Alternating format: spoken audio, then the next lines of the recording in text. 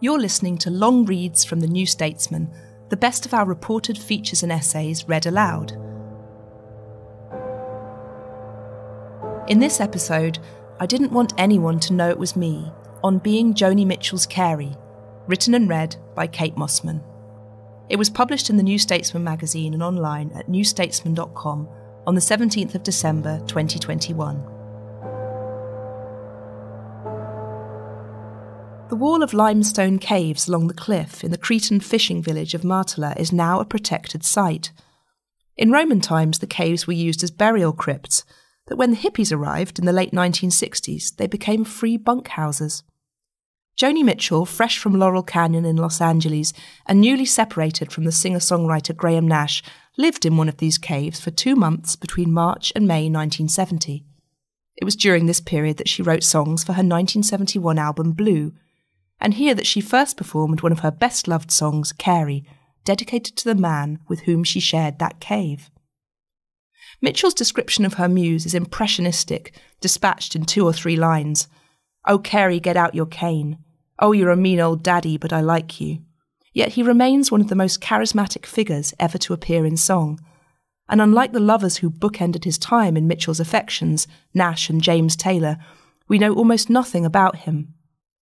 There were casual latrines in the shrubland higher up the beach in Matala, and the hippies wove reeds together to make doors. The wind is in from Africa. Last night I couldn't sleep. There were stoves and lanterns and kilim rugs passed on to new owners each time a cave changed hands. For beds, the burial crypt itself inside the cave, a stone shelf a few feet wide.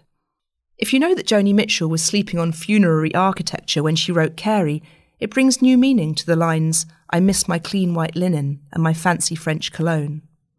Today, the beach at Matala is still raked over in travel blogs by tourists smitten with the romance of the song. Like Woodstock, which Mitchell wrote without having been to the festival, it epitomised a hippie dream that lay out of reach for most, and which everyone thought, still thinks, sounded like a paradise. Most people listening to Blue on its release hadn't been to Greece or Amsterdam or Paris or anywhere much, as no one could afford the flights. Mark Ellen, former editor of Q, Smash Hits, and The Word, hitchhiked to Matala in 1974 with his girlfriend with the express purpose of recreating Carey. He was one of many to do so. To think that here she was, gloriously rootless and drifting through Europe, was intoxicating, he told me. No song defined a moment like Carey. We all tried to have as much fun and be as original and wildly poetic and romantic as Joni Mitchell and him. He didn't just have a love affair with the woman all men would have loved to have had a love affair with, he lived the life they dreamed of too. In fact, during the writing of Blue, Mitchell was having what she later referred to as a shamanic experience, and what others might just have called a nervous breakdown. When she'd arrived in Crete in 1970 with a female friend, she was on the cusp of fame trying to figure out whether celebrity and art could exist side by side. In Matala, she was free, but not invulnerable. This was the moment that Cary Raditz entered her life. The spelling mistake was hers. As a child, and I can't be the only one, I assumed that Carey was some kind of ancient lover, a sort of sugar daddy, albeit one too tight to buy the drinks. For those of us who heard Mitchell's songs via our parents in the 80s and 90s, their love story was part of an emerging sense of the sparks that occur between the sexes. Let's go down to the Mermaid Cafe and I will buy you a bottle of wine, and we'll laugh and toast to nothing and smash our empty glasses down. For men of Carey's own generation, he was a handy archetype for the age of Aquarius. At the 40th birthday of a friend a few months back, the celebrant's father, a saucy raconteur who'd done the Ibiza circuit in the 60s, told me that the real Carey was a guy he'd known in Formentera he was wrong, but he wouldn't believe any other story. In many ways, the song is surprisingly literal. Yes, there was a mermaid cafe, five minutes' walk across the bay, run by Stelios Zagorarakis, who was in the cave when Mitchell played Carey for the first time. It was Raditz's birthday. And yes, Carey carried a cane, a shepherd's crook, in fact, hooked at the top but smashed off half mast. If we have an unusually strong impression of him, it's because he also appears in the other single released from Blue, California. I met a redneck on a Grecian isle who did the goat dance very well. He gave me back my smile, but he kept my camera to sell. Oh, that rogue, that red, red rogue. He cooked good omelettes and stews, and I might have stayed on with him, but my heart cried out for you, California. Over the years, Mitchell would introduce live versions of Carey with stories to enhance the rogue she'd created. She recalled their first meeting. He was working as a chef at the Delfini Taverna in Matala. She approached him with some rubbish in an attempt to clean up. He took it from her and threw it straight on the floor. I latched myself on to Carey because he was fierce and kept the crowd off my back, she told the Wall Street Journal in 2014. He was always detached and sometimes even disrespectful either trying to belittle me or make me feel afraid. I think at the time he felt greatly superior to women, which is why I refer to him in the lyrics as a mean old daddy. It's a very small club, ordinary people who've inspired immortal songs. Suzanne, Marianne, Sharona, Peggy Sue. You will spend your whole life trapped in one, but you may never get the chance to tell your side of the story. In 50 years, Cary Raditz has barely spoken about his time in Crete with Joni Mitchell and has never told the story of what happened afterwards. Each time I tried to talk to him, he turned me down, saying he was working on a book or promising he would travel to see friends in England when we would surely get together. Then, after Blue hit its 50th anniversary in June this year, he got in touch. He'd changed his mind. Our meeting place on a warm day at the end of October was a small bistro in Paris near the Musée d'Orsay, five minutes from the Pont Royal that takes you to the Louvre. Raditz had been all over France in the previous three weeks with his wife Anne, whom he'd copied in on all our email correspondence. Creste, Provence, Avignon, Rochefort-en-Terre, and Douarnenez-Brittany, mostly with old friends. Through the plastic window of the outdoor marquee, Cary Raditz, with long grey hair and a gold loop in his left ear, looks like a gypsy or a retired pirate, poised in the corner against the burgundy fabric, nose in a book. He seems slightly self conscious, as though wondering if he's already being watched, which he is. And what a small, insignificant person he turned out to be, he announces, standing. He is 75, his voice soft and hoarse and liltingly southern. He orders lightly a salade de raie, or warm skate salad, the fish shredded with a fork. Somewhere on his French trip, he tried bigorneau for the first time, the tiny sea snails eaten with a pin. Have you ever tried them? he asks. Well, they're not very good and they're not very easy to get at. Raditz got at them with a nutcracker and was told that he couldn't get away with that in a restaurant.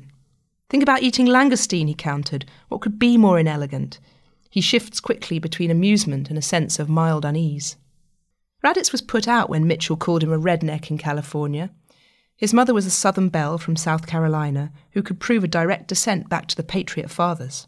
His grandfather, a bank president, died when she was young leaving my grandmother with a nice portfolio which turned to mush as soon as the stock market crashed. His mother worked as a teacher of English. She read to me poetry when we would take our naps in the afternoon. She was very dramatic, and certainly I received directly the most potent narcissistic genes from her. Raditz's father was the son of a concert pianist, Henrietta Hermann, and a famous portrait painter, Lazar Raditz, who painted the Rockefellers. Lazar was the son of a rabbi from Latvia. His aunt was a famous child artist, Violetta Raditz, who had a show in the Met, New York. His father, in contrast, liked to say, I don't have a bone of talent in my whole body. So from him I received nothing, because I don't have a bone of talent in my own body. Pretty funny, huh? He laughs, taking a mouthful of skate. This was the background from which Cary Raditz set out upon the world. After college in Chapel Hill, North Carolina, where he'd moved in the same circles as James Taylor, he was writing advertising copy for an agency selling hosiery when a girlfriend over in Munich sent him a $100 bill. Icelandair did flights to Luxembourg for $150 back then. Once in Europe, he hitchhiked to Germany, where he lived with his female patron in an abandoned furniture factory, making money as an extra in a TV show. They played the part of hippies with floppy hats for 50 Deutschmarks a day. As the autumn of 1969 came, they decided to head to warmer territory. Believe me, Raditz says, if we kept going at this pace, we would be here a long time. At a fork in the Autobahn south of Munich, they opened it up to fate. If the first car to arrive was travelling to the southeast, they'd end up in Greece. If it was heading southwest, they'd go to Spain, and Cary Raditz and I would not be talking. At this point, the girlfriend seems to melt away from the story. He was 23 years old. Like many romantic unions, there were two or three random collisions between Mitchell and Raditz before the one that brought them together. Having settled into a cave on Halloween, Raditz was indeed working as a chef at the Delfini Taverna, Greek omelettes were his speciality, potatoes and onions spooned into a hot frying pan and flipped with a jerk of the handle. She came into my taverna mid morning, he says. I don't know what I was doing, cooking, cleaning up, surrounded by four or five sycophants, fawning ex friends of mine. He was rattled by the buzz around Mitchell in a way that still resonates. She did bring some trash to help him with his cleaning job. He did take it from her and throw it on the floor. Did he know her music? Yeah, but I didn't give a shit. Quite frankly, I didn't know anything about her, he says. I just saw that she was coming into town, and these friends of mine, who I thought were pretty good drinking buddies, were now turning into the idiots that I didn't like the love and peace hippies, the nonsense involving all sorts of belief systems. Why did that bother him? Because it was inauthentic.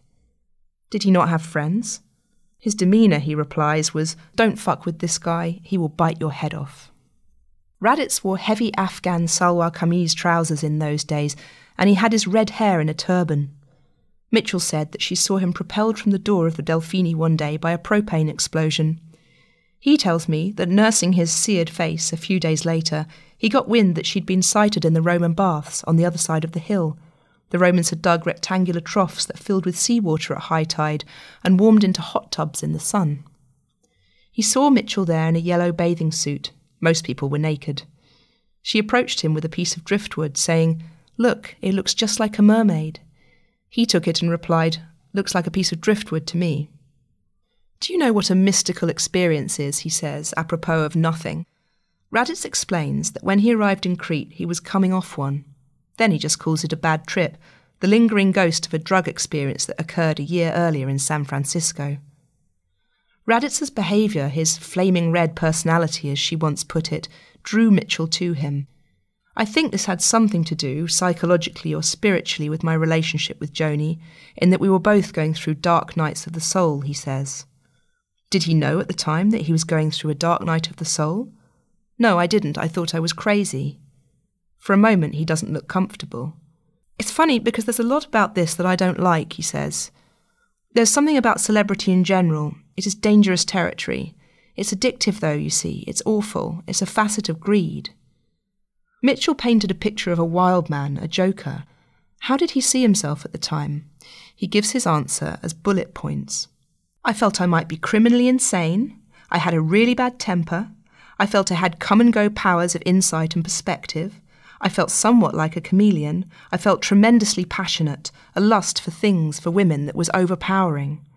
He orders dessert, a small ball of vanilla ice cream with cassis drizzled over the top. Their final meeting ended his hostility towards Joni Mitchell. There was an evening ritual in Matala, watching the sun go down over the tiny islands that lay beyond the bay. The sun would appear to set and then reappear again in some trick of the light. Raditz was watching this phenomenon from the wall of Delphini's when Mitchell approached him. Alone, without anybody trailing around her, she came and sat down next to me. He claims to have recited Shelley's Tonight, which sounds entirely probable, and after that, the only logical thing to say was, Do you want to go and get a drink? The Mermaid Cafe smelled of coffee, apple pie, sauteing onions, stale beer, and tobacco smoke. That night it was full of shepherds and soldiers drinking the powerful Cretan drink raki. One soldier went up to Mitchell with a box of Benson and Hedges cigarettes, a treasure in those days before the global supermarket, Raditz says.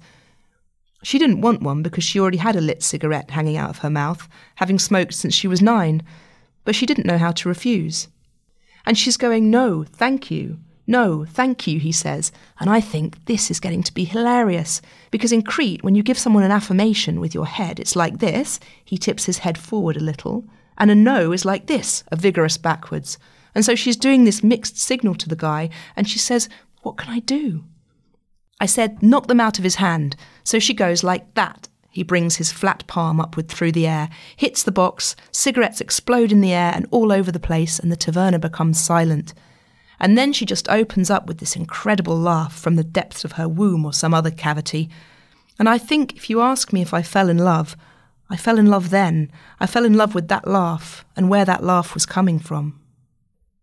Mitchell woke up in the cave after her first night with Cary Raditz with the heel of her shoe broken. She moved her things in from the small hut she was renting nearby. There wasn't room for both of them to sleep together, he recalls. They took turns in the tomb, with the other sleeping on blankets on the floor. With him, Raditz says, people stopped following Mitchell around so much.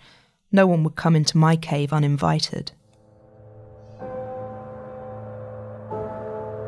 For the text version of this article and all our long reads, subscribe to The New Statesman for just £1 a week for 12 weeks using our special podcast offer.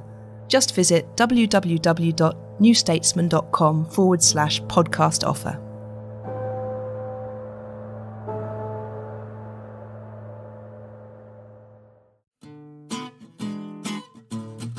Hello, I'm Alva.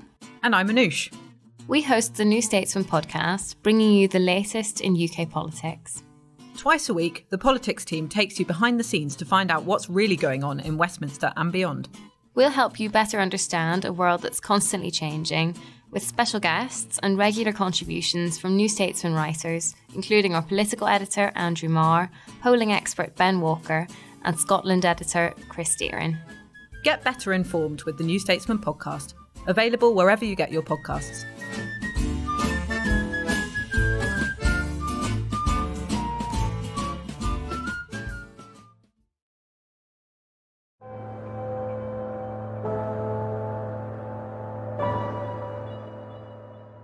Mitchell remembered her Crete period in a 1979 interview with Rolling Stone.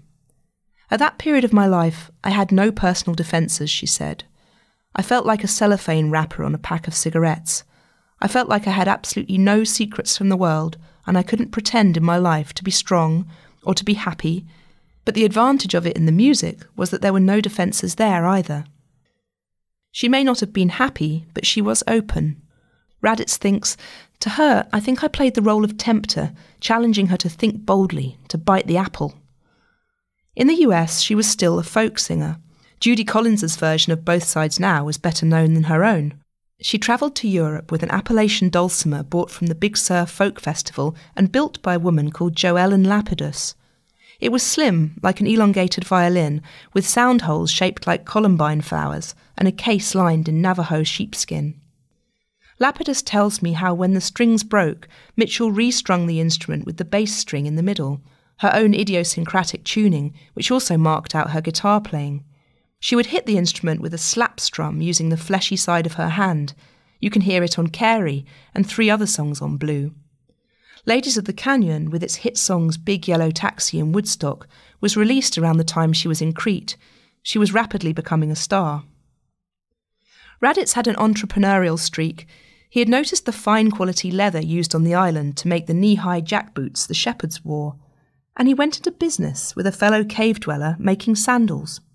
These sandals form a large part of our conversation because Raditz is a strange, sensual character. He thinks in fabrics, foods, textures, smells, sex. When she wasn't playing her dulcimer, he tells me, Mitchell spent a lot of time knitting. I want to knit you a sweater, want to write you a love letter, she wrote in All I Want. She did knit a sweater for James Taylor a few months later, a mark of the domesticity she'd slip into intermittently before each bid for freedom. While she was with Raditz, she knitted one for herself. It stretched right to the knees, and he describes how she incorporated bits of beach grass, tiny shells, and bleached fish bones to create textures, and spun tufts of green yarn into the tan background. The ecosystem sweater of Matala, he calls it. How splendid, I thought. She never stops singing, laughing, making music, drawing, creating things in praise of her friends, her surroundings, her emotions and feelings. They were together constantly for two months.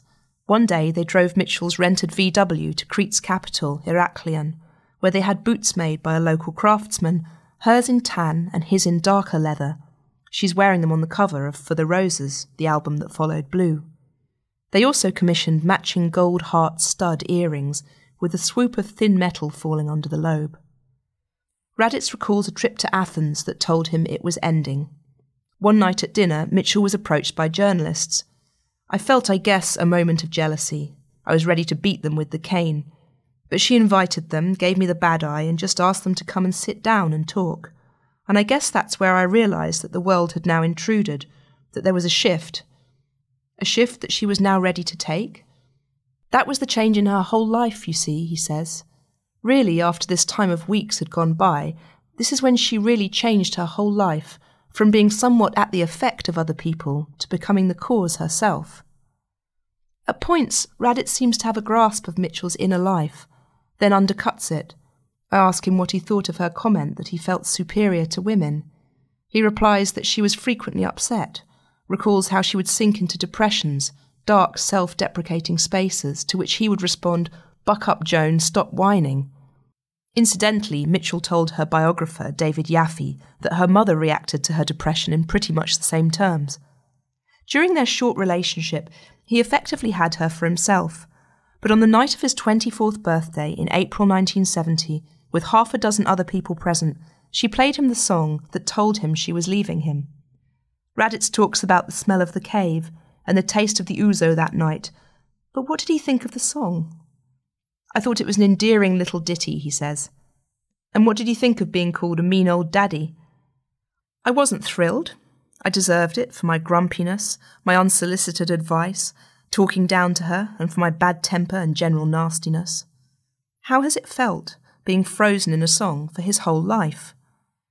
It is eerie, he concedes. For fifty years, having this song pop up in the most unusual kinds of places in taxis, as muzak in an elevator, in a bar in the Hilton Hotel in Abu Dhabi, being played on stage by the band. People who didn't know it was about me would sing it at me when they realised that Carey was my name. Was it hard to take, everyone thinking from the song that Joni Mitchell dumped him? Oh, she dumped me, he cries.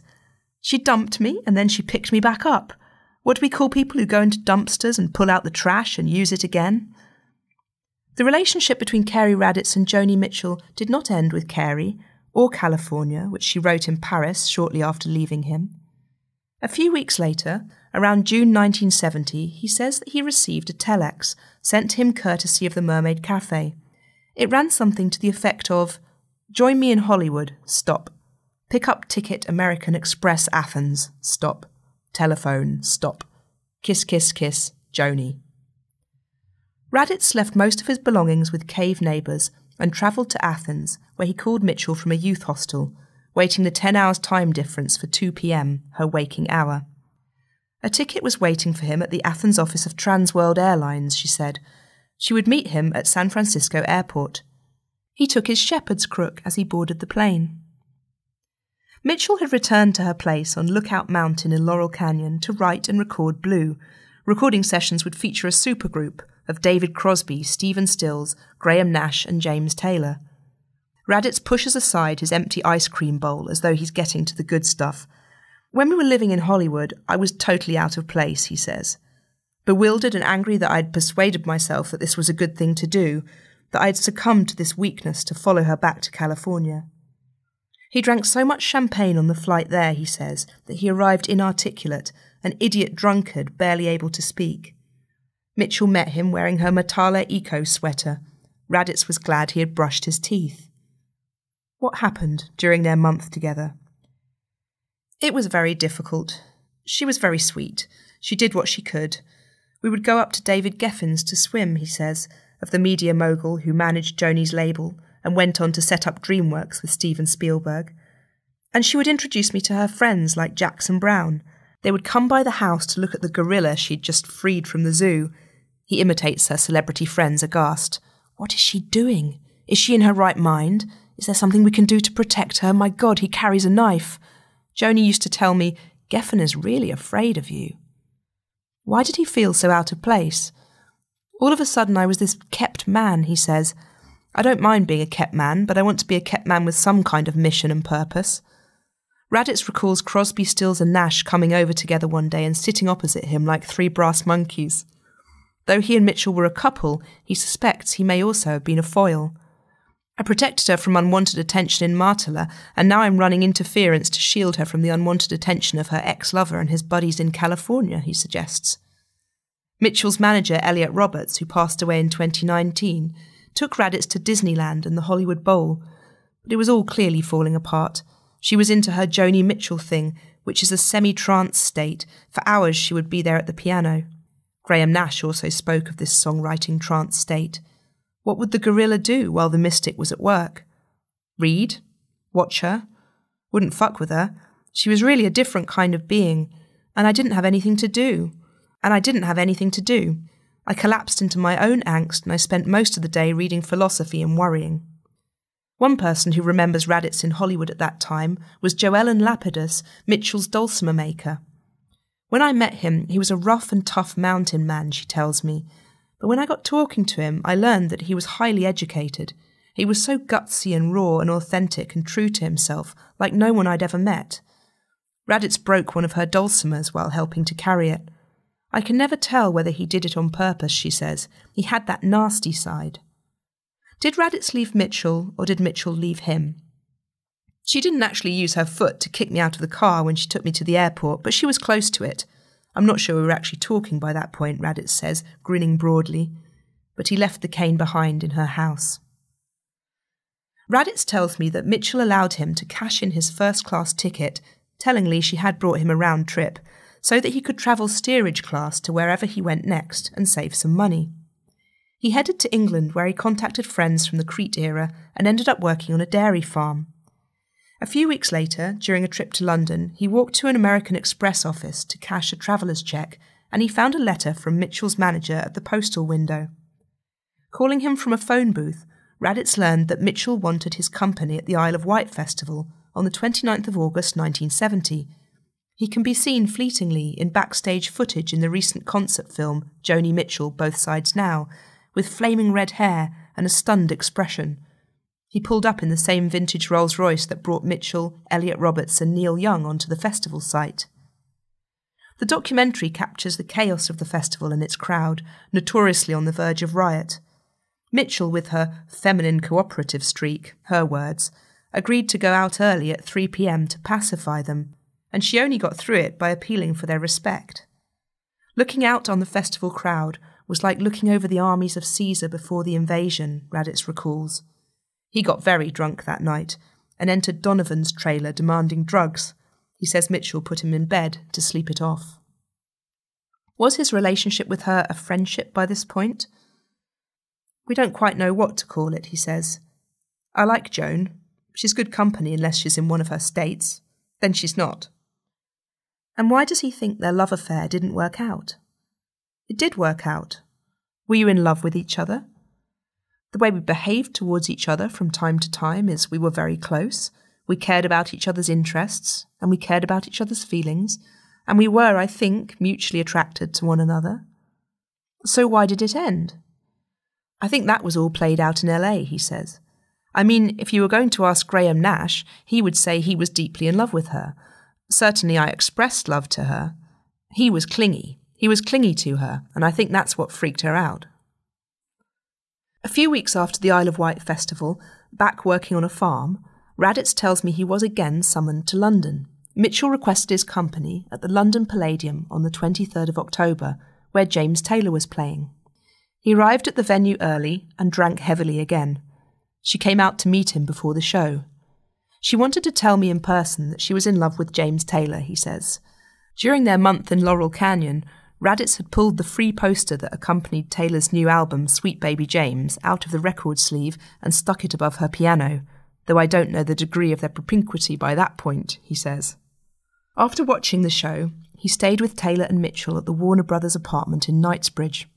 After this, in one of the strangest twists in Cary Raditz's story, a brief kind of platonic threesome appears to have occurred for several weeks in the autumn of 1970, whereby Mitchell and Taylor, newly in love, were often accompanied by Raditz, at their request, he swears. Mitchell can be heard giving a shout out to her friend from Matala, London, and Los Angeles and North Carolina at the Paris Theatre on Regent Street six days after Taylor's Palladium show. This was not any Jules et Jim menage à trois hell, he says. It wasn't like that. I don't know what it was, other than this kind of friendship. I didn't have any kind of lingering jealousy. Still, he is unable to explain quite why he was there. He accompanied them to the wedding of Taylor's producer, Peter Asher, and to music industry dinners. He would go to late night pubs with Taylor and drink copious amounts of the Italian liqueur Strega. He was afraid to ask why James was hanging out with him so much, he says, in case it stopped. Mitchell, Taylor, and Raditz came back to the US together after the UK shows and settled in the Albert Hotel near Washington Park, New York. It was all a puzzle, Raditz says. I had a separate room always. I was never interested in watching them copulate. One day, he went to visit his grandmother, the concert pianist, who was living over on 6th Avenue and 8th Street. Taylor and Mitchell accompanied him, bringing their guitars, and played for her. Once again, he would read, listen, and prowl the streets while the musicians worked. And then we moved up to Martha's Vineyard together, and so I had my own room in a motel. James was building his house, so it was in an early state. It had a roof on, and the walls were open inside, with table saws and carpentry equipment. Around Thanksgiving 1970, Mitchell's manager Elliot Roberts appears to have got rid of Cary Raditz. Raditz tells me Robert said that the pair felt crowded by his constant presence, which he contested, pointing out that he had always been invited. He wonders again whether he was some kind of buffer to deflect publicity about the new celebrity relationship. Joni has a Machiavellian streak, he says. Roberts gave him a job to oversee his farm in the Santa Cruz Mountains, but he was soon fired for mismanagement. He tried to connect with Mitchell and Taylor when they visited Taylor's parents in North Carolina, but they never returned his calls. Raditz didn't talk to Mitchell for a while after that. He joined the American Peace Corps and he went out to build pump stations in Mauritania. I wanted something that gave me the nomadic lifestyle, but with medical backup and stuff like that. Mitchell called him in 1978 after she travelled to Mexico with the dying Charlie Mingus. She talked through that with me and how thrilled she was to have worked with him. She's still kind of working through that, I think. I just imagine in her instincts that in the great hall of jazz there's an empty podium there that her statue should be on, he says sarcastically. That's the arena of her fame. She should be there, not in folk singing or rock and roll. He studied development banking and went on to become an economic development consultant in Zambia. As the 80s began, he became a Park Avenue banker in New York, working for the Middle East and Africa division of Chemical Bank. In Greece, he had lived as though I had taken a vow of poverty. In a few years, he went from riding camels to helicopters and limousines, Chemical Bank settled the first asset claims with Iran in 1983. He still has the braces he bought to celebrate, printed with dollar signs. Mitchell wrote about bigwig financiers in her 1985 album Dog Eat Dog, which was critical of Reagan era economics. Some are treated well in these games of buy and sell, and some, like poor beasts, are burdened down to breaking. During this time, she would come and meet Raditz for lunch at the Chemical Bank office at 277 Park Avenue. Her poor and untalented ex boyfriend, his words, had made something of himself. One Sunday, after dim sum in Chinatown with Mitchell and some of her photographer friends, Raditz started to come down with the flu. Mitchell took him back to her Greenwich Village loft apartment on Spring Street in Varick, where he lay sweating in blankets on the sofa for at least two days. Not for the first time, he outstayed his welcome with Joni Mitchell, and not for the first time, she eventually kicked him to the curb. They are still in touch. He flew to see her for his 72nd birthday, where they had dinner with Stelios of the Mermaid Cafe, and he showed her pages of a draft edition of his book, for which she is trying to find a publisher. Her assistant is generally present. A gatekeeper, he says. Joni Mitchell has had three strokes. It's difficult to talk to her these days. Mitchell's interviews, rarer than comets, take place with carefully selected writers, and I did not contact her myself. She's told the story of Carey before, her way. You get the feeling that Raditz is not even quite sure what he is in Joni Mitchell's story. Muse, security guard, buffer, lover, hanger on? Or was there continued connection through the years, her the high priestess of songwriting, him married with three overachieving children, really a link back to a pivotal moment in their freewheeling past? Less about love, more about some portal on who and what they were when they met. Having made a decision to talk at length after 50 years, Raditz remains in touch after our Paris meeting, sending me photos and extracts of poetry his wife no longer copied into our emails. You get in touch and tell me you've been thinking about this guy since you were a child. Do you know what kind of license that gives me? He says over lunch. Mitchell gave him an identity at 24. It may not have been the real one, but it was so evocative that millions of people over the world have wondered about him. He will live out that fictional identity for the rest of his life and far beyond it. Songs are like tattoos, Mitchell said on Blue. Having one written about you is immortality and fiction rolled into one. He may find himself addicted to the interest it generates, but then again, he didn't ask for it to happen. Did he ever wish Carey had never been written? Yes, he says. For many years, I never talked about it. I didn't want anyone to know it was me, because all they wanted to talk about was my relationship with her. Raditz experienced the real Joni Mitchell too at one point in time, in the most tumultuous, intense, and fast changing era of her life, when it's almost impossible to say who she was in love with, who she had met, and what she was writing. The chronologies continue to blur with each passing year. After leaving Graham Nash, she chose the opposite of domestication on the floor of a cave in Matala, but her new protector became possessive in his way. No one could have Mitchell for long. He met her vulnerability, and he met the steeliness beneath it. Who knows why she wanted him around as her career progressed, unless he indeed represented some kind of audacity she wanted to keep in touch with. Maybe she kept in touch because on some level she felt she owed him for the songs. Maybe she really liked him. I was just there, you know, who knows, he concludes. I can't get into this counterfactual stuff. I was there. He is not very self analytical. Why is he talking to me after 50 years? Well, I spent a lot of my time in Buddhist retreats, he grins, and I've spent many years trying to work to free myself from the confines of my ego. And lately I've realised there isn't much beyond my ego. I've come down to what's the amusement value? Are people amused? I would tell the story to musicians who'd have an appreciation of it, but I dislike being pinned down. How does he feel now when he hears the song? I've become distant somewhat from this character, Carey, he says, and Carey can live out his variant forms in the minds of people without bothering me too much. And maybe it's a way of self protecting, but this idea of the self is really very delusional. Oh, and he didn't steal Joni Mitchell's camera, as you're led to believe in California. She gave it to him when she left Greece. He said he'd probably have to sell it. She shrugged and said, Go ahead.